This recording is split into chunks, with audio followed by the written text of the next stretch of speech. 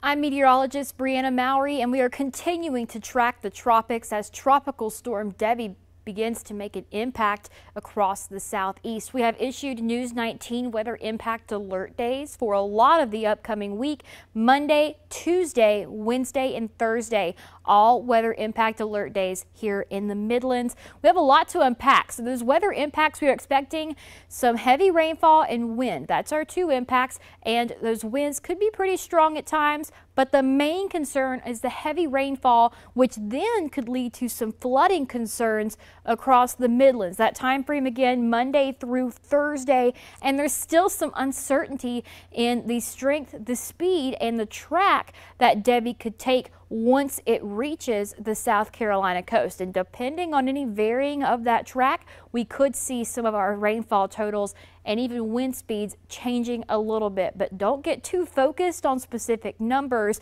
It's important to remember those impacts. So what you need to know Monday through Thursday, all day event, throughout the next several days. That impact, the main impact, heavy rainfall, and that heavy rainfall you need to realize could lead to some flooding issues. So if you are heading out, be mindful of heavy rainfall leading to flooding. Don't drive through flooded roadways. Try to do everything you can to stay safe. We will be sending out alerts on our app our website, social media accounts. So be sure to follow us here at WLTX News 19. We will do uh, keep you updated with the very latest on Tropical Storm Debby.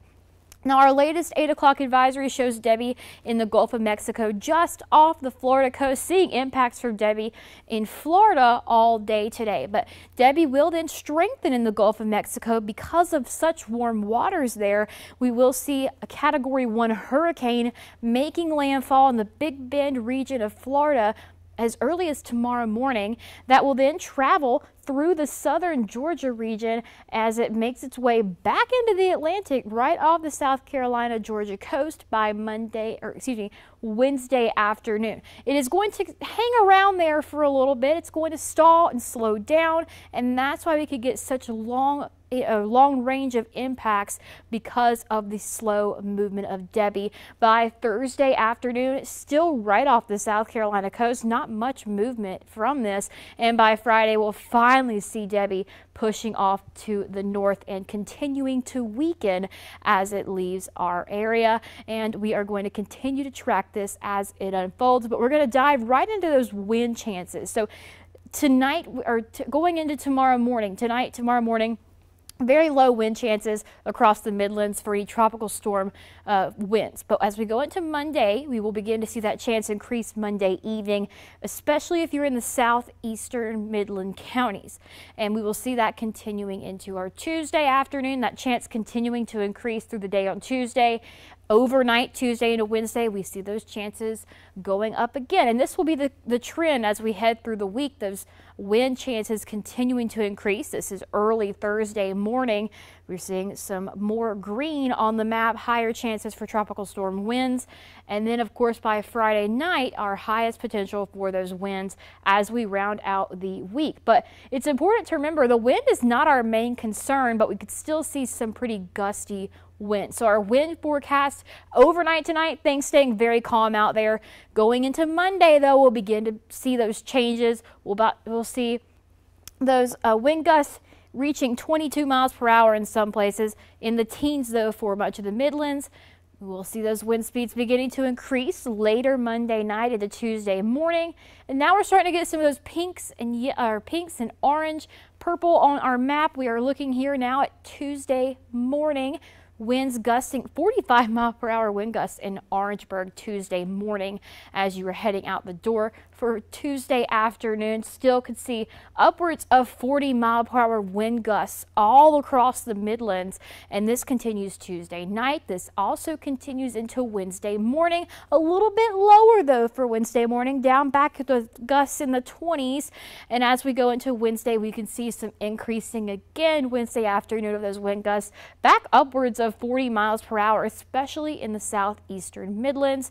And then as we go, it's uh, go through the day on Wednesday, we will continue to see those elevated wind speeds. But it's important to remember with those winds, Our primary concern is the rainfall and what flooding could occur because of that. So our rainfall chances for the next several days, Monday, Tuesday, Wednesday, and Thursday, all some pretty significant chances for rainfall. And by the weekend, we'll finally see things drying out with some lower rainfall chances for our forecast going into uh, the start of Monday morning. This is overnight tonight.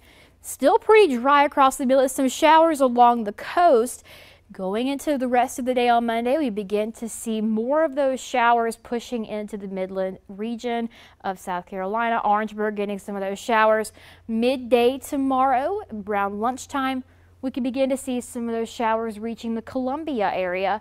And then as we go into Monday afternoon and evening, those showers become more widespread as they move into the Midlands. And then we could begin to see this uh, areas of rainfall becoming heavier and shifting as we go into Tuesday. So here's overnight, Tuesday morning, heavier rainfall along the southern South Carolina coast.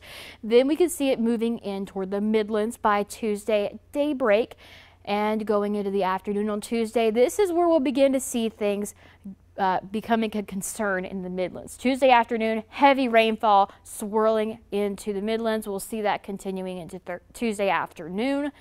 We'll see some purples and pinks even showing up where these heavier rain, rain bands do set up. We could get some locally higher rainfall amounts, continuing rainfall into Tuesday night.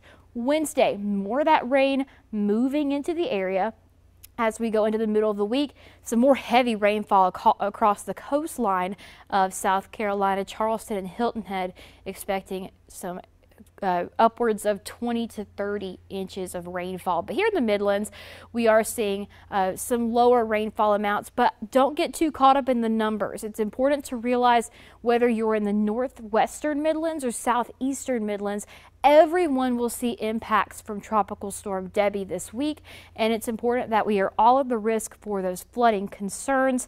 Looking at that excessive rainfall outlook, we all have a risk for flooding uh, for the rest of today, not related to Debby, but going into Monday. This is where we begin to see the impacts of Debby starting as early as tomorrow morning. So we're already in the Midlands seeing some uh, slight, that's level two out of four risk for excessive rainfall.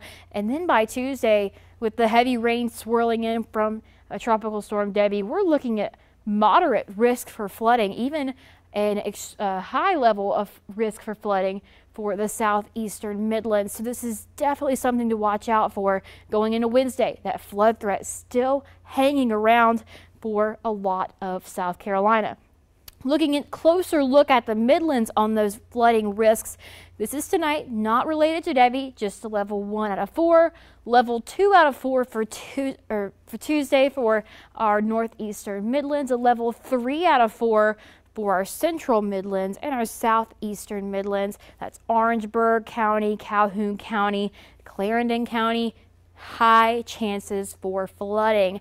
For those tropical advisories, we're already seeing tropical storm watches for the coast of South Carolina because of those tropical storm force winds.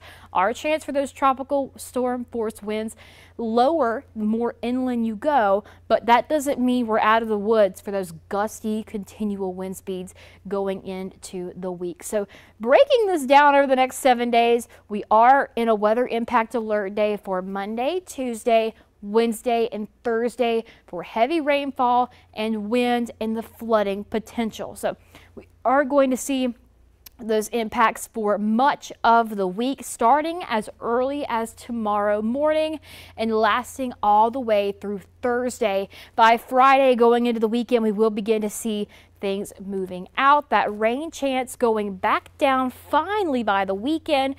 Temperatures lower over the next four days because of all the clouds and rain. We're back in the 90s for the weekend. We could see some sunshine by the weekend, but we have a long few days ahead of us. So as always, download your WLTX app, follow us on social media, check in online. We will keep you updated with the latest on Tropical Storm Debby as this unfolds across the Midlands this week.